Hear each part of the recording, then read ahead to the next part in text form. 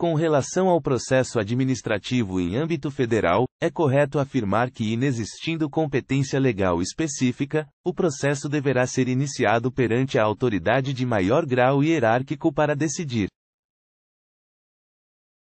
Analisando a questão, você responde: verdadeiro ou falso? O gabarito é falso. Artigo 17. Inexistindo competência legal específica, o processo administrativo deverá ser iniciado perante a autoridade de menor grau hierárquico para decidir.